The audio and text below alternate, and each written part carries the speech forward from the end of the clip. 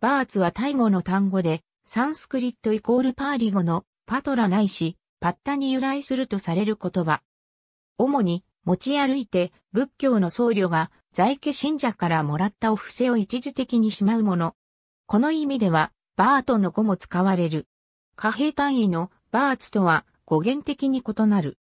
バーツはタイの重さを数える単位で、1バーツイコール4サルーンイコール8フアンイコール100、サタンイコール15.2グラム。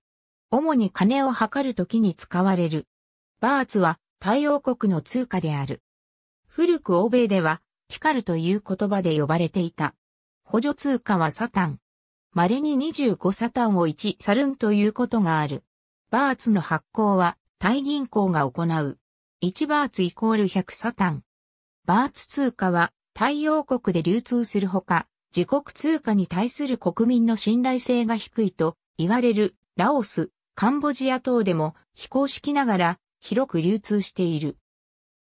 現在の紙幣は20、50、100、500、1000バーツが発行されている。2018年より全国王であるラーマ9世が崩御した後に発行されている現行の全紙幣の表面には大国王ラーマ10世の肖像が印刷されている。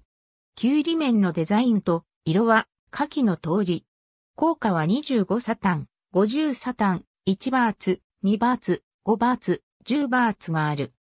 かつてはアルミニウムで鋳造された1サタン、5サタン、10サタン効果もあったが、現在では銀行にて流通するのみである。